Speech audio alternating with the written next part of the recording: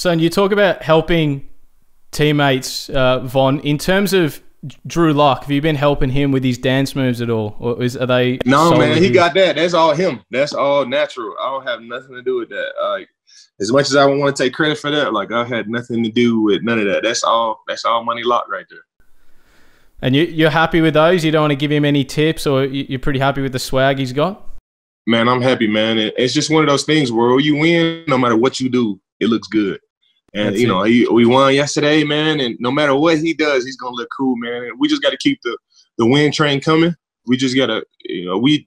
I think winning once you feel like what a win feels like, man, it just creates like this addiction and this confidence, and we just got to keep that thing rolling, man. And we'll be good.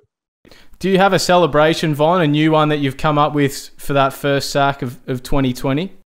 Um, you know what? I I had made like in my head, I was telling myself like I'm gonna dance more. Like I'm gonna dance more. I'm gonna celebrate more. And you know, um, usually you don't want to be the guy that's like dancing after a sack and you're down by 30.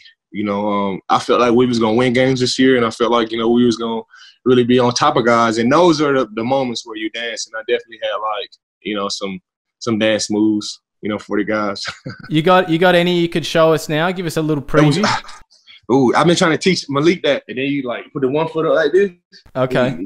And you know when I got my helmet and stuff on, it's gonna look crazy. so, so it's I a think- little bit of that one Yeah, yeah. Over the shoulder, like this. over the shoulder. There, there you go. There, there you Ah. go.